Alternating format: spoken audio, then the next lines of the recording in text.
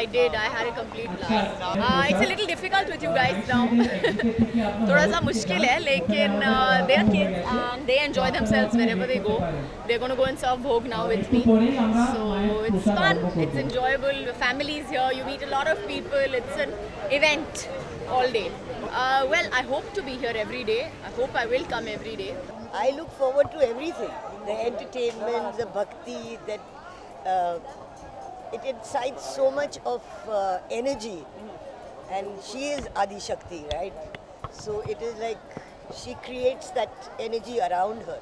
And it's very good for everybody that she's there. जी मैं जब भी मैं स्कूल में थी तभी मैं डांडिया खेलने जाती थी अभी मेरी अ, छोटी सी नीस जो है निशा वो जाती है डांडिया खेलने मगर हम नहीं जाते क्योंकि आई थिंक हम अभी थोड़े बड़े हो गए हैं Of course, we serve bhog. It's a tradition in our lives. We've been doing it forever, and I think uh, even though my father is not here with me today, if I didn't serve bhog, he'd be very mad.